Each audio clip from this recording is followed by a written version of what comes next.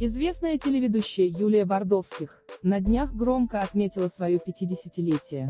Отметить дату юбилярша решила в Юрмале, организовав в одном из ресторанов вечеринку в форме зажигательного девичника, к которому позже присоединились и мужчины. На следующий день Бордовских отчиталась о празднике в Инстаграм и приняла очередную порцию поздравлений от подписчиков. Итог девичника, Студио 50, нескончаемые сюрпризы от любимых подруг, прилетевших сюрпризом, Натальи Синдеевой, Милены Якубовской, Алины Черкасовой, тосты, которые надо было записывать для истории, потерянное и найденное теми, кто приехал сюрпризом кольцо Виолы Сюткиной, танцы до упаду под музыку от Федора Фомина, абсолютно сработавший формат, мужчины после десяти вечера, переросший в посиделки до утра с анекдотами Валеры Сюткина, написала Бордовских. Гороскоп на 14 июля, Скорпионы, ваш выход. Как отмечает телепрограмма.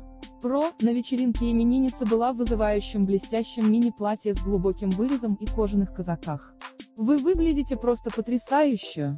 В 50 не поверила, пришлось гуглить. Огромного счастья! Юльчик отдельное спасибо за дресс-код.